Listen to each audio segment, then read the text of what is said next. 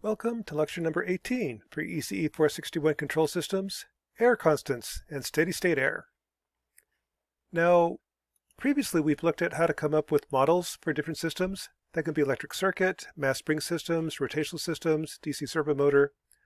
All those have transfer functions. Now we're going to start looking at feedback. Uh, feedback is where you take the output, and instead of having it controlled by the input directly, I'm going to form a feedback loop. I'll compare the output with what it should be, that creates an error. And from that error, I'll drive the system.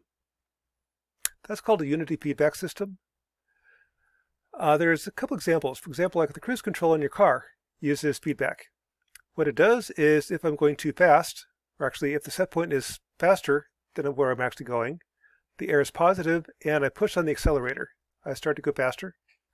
If the error is negative, meaning the R is less than Y, I'm going too fast, error is negative, and I take the accelerator and back off on it. If my speed is equal to the set point, say I'm going 55 miles an hour, whatever that accelerator is, do nothing, leave it there. That way what happens is that if I'm going too slow, I'll push on the accelerator, speed up. If I'm going too fast, I'll ease off on the accelerator, and eventually wind up going at the desired speed. That's the idea behind unity feedback. I can specify the set point and have the controller automatically figure out what to do, rather than having to specify the input. Now error constants, the topic of this lecture, is trying to describe the behavior of the system in steady state with just a single number. The goal is to have no error. And I have to specify no error with respect to what kind of input. And there's three standard ones. I can say, is my input a constant? Say I want to set the temperature to 72 degrees and stay there. Can I track that? The input is a ramp. The temperature is slowly ramping up, like I'm heating a reflow oven. Can I track that? Uh, the reference is a parabolic input. Um, why you do that, I'm not really sure, but that's another one. Constant acceleration. So look at the error constants in the steady state error, depending upon what type of input it is. A step, ramp, or parabola. And in general, bigger is better. For the error constants, I want the error const constant to be as big as possible, Large error constants mean small error, and really the goal is to make the steady state error zero. Now a couple definitions. The system type is how many poles you have at s equals zero. So a type 2 system has two poles at s equals zero. The error constants are your Kp, Kv, Ka. That's the DC gain of the plant. Kp is the DC gain of G of S. Plug in s equals zero, I get a number. That's Kp. Kv says if my plant is an integrator, I can't let s go to zero for the integrator because that goes to infinity.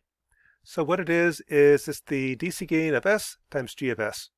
Or think of it, g of s is an integrator at s equals zero. It's the gain of that integrator, kv over s.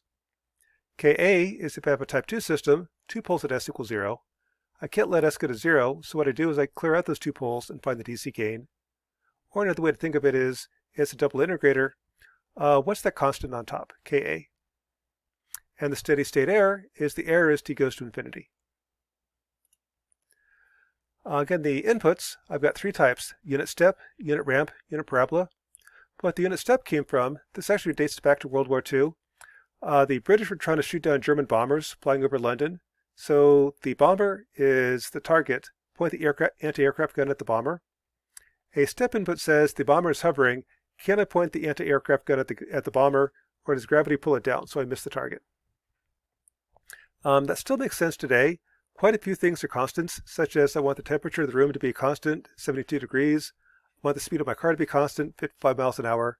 So step responses are very common. That's usually how you specify a system. Uh, unit ramp says, well, you know, bombers don't hover, they actually fly. So if I want to track a bomber moving at a constant speed, that would be a ramp input. Uh, again, that kind of models some systems, like on reflow oven, I want the temperature to be constant, then I want it to ramp up, melt the solder, stay constant, then ramp down. The ramp areas would be, can I track that ramp? Parabolic inputs, again going back to the German bombers, when a bomber flies, the anti-aircraft gun, as it flies straight overhead, at the zenith kind of whips around, then it slows down. That whipping motion is kind of a parabola, so they looked at, can I track a parabolic input? Uh, track a bomber flying over London, straight ahead, straight overhead. What that models today, I'm not really sure. So the step response for unit parabola isn't a terribly common input anymore, but historically it's still there.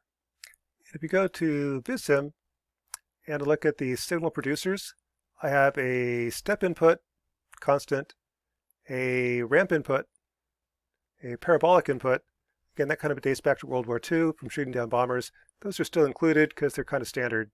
Uh, not necessarily useful, but standard. So carrying on. The steady state error for step, ramp, or parabolic input depends upon what your system type is. Is it type 0, type 1, or type 2? So let's start with the type 0 system. If I have a type 0 system, the DC gain of the plant as s goes to 0 is just kp.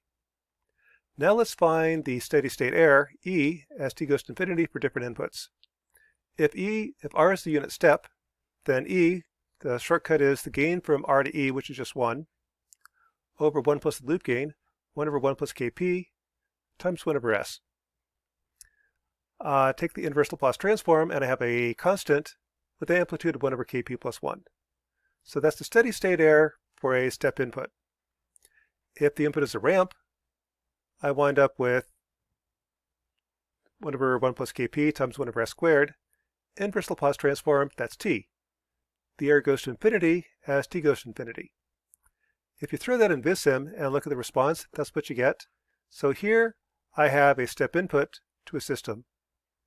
The steady state error, right here, is the difference between the two. So I've got constant steady state error for a type 0 system with a constant input. As I increase the gain, make that 200 bigger and bigger, the error gets smaller and smaller. For example here, this is a neat thing you can do with VisSim. What I did, uh, let's pause this, is when under Simulate, Simulation Properties, Auto Restart, and what that does as soon as I finish, finish the simulation, it keeps going, and right-click, uh, I did fixed bounds on the axis, so it doesn't keep on rescaling it.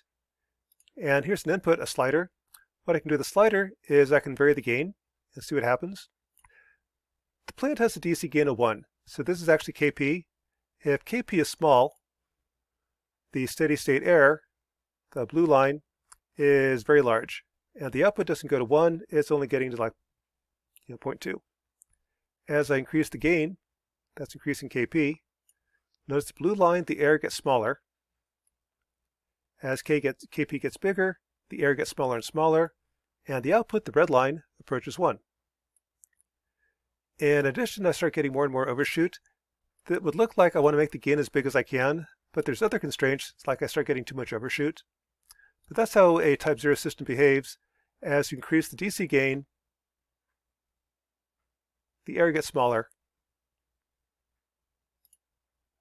If I make this a ramp input, let's do block signal producer uh, ramp. So there's my ramp input.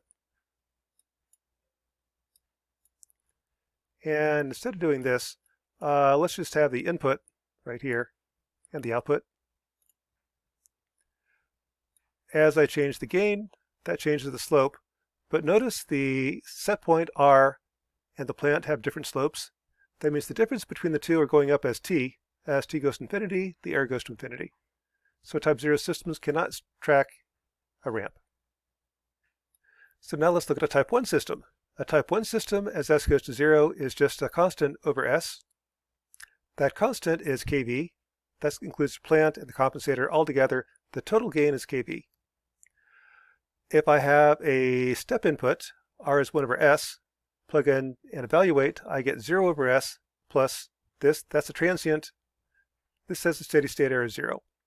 That means a type 1 system can track a constant set point with no error. And what happens is that if I do have an error, that's an integrator, I'm going to integrate up or integrate down. The integration constant is whatever it takes to force the error to zero. And here the integration constant is going to be y equals r, e equals zero. If I have a ramp input, the Laplace transform is 1 over s squared, I get a constant over s. So a type 1 system can track a ramp with constant steady state error. Error is going to be 1 over kV. Again, bigger is better. The bigger kV is, the bigger the DC gain is, the smaller the error. And it cannot track a ramp. The error becomes a ramp. Or, and let's just see here. If I try, try to track a constant, I get it dead on. try to track a ramp, I'm missed by a constant. And the bigger the DC gain, the smaller the error. The error is 1 over kV. So let's illustrate a type 1 system in VisSim. Here I just added a, another 0 or another pole at s equals 0. This makes it a type 1 system. And I can vary the error constant Kp, actually Kv right here. Uh, this is 1 over s as s goes to 0. As I vary Kv, notice that for a step input, it's always tracking. Type 1 systems always track a constant set point. Doesn't matter what the gain is. So likewise, if it's a test and asks you what's the steady state error in a type 1, be happy. The answer is 0. I don't have to do anything. If I change it to a ramp input,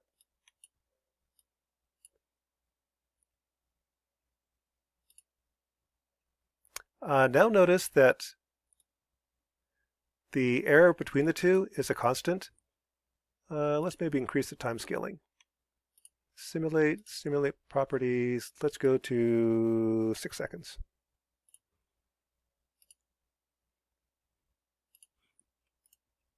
And change axis scaling.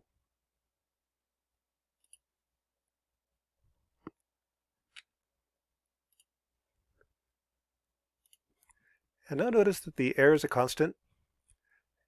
As I increase kV, the error gets smaller and smaller but there's always a constant error. Um, that's, uh, again, uh, bigger is better. The bigger the error constant, the smaller the steady state error. But I'm going to have constant error for ramp input. If I go to a parabolic input, again, I'm not exactly sure what that corresponds to. Block, signal producer, parabola. And now run it.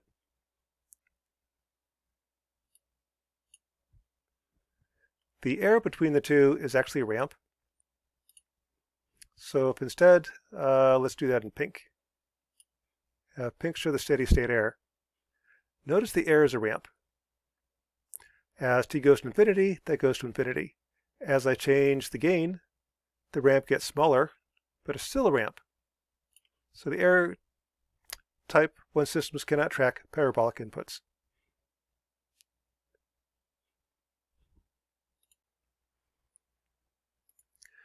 Let's go to a type 2 system. If I had a type 2 system, the DC gain is Ka over S squared. Um, the transfer function from R to E is going to be S squared, or 1 over 1 plus Ka over S squared. Doing a little bit of algebra, it's S squared over S squared plus Ka. If my input is a step, I get 0 over S. If the input is a ramp, I get 0 over S squared or 0 over s. If it's a parabolic input, 1 over s cubed, I get 1 over ka over s. So type 2 systems can track constants, they can track ramps, and they sort of track parabolas, but they miss a parabola with a constant steady state error. So the net result is if you simulate it, again, type 2 systems are great. If you can get them stable, I can track a step, I can track a ramp, and putting all together, you have the stable. Again, type, type 0 systems, Kp is the DC gain. Type 1 system is the DC gain of S times G of S. Type 2 systems, Ka is S squared times G of S as S goes to 0. And the steady state error for type 0 system, steady state error is 1 over Kp plus 1 per step.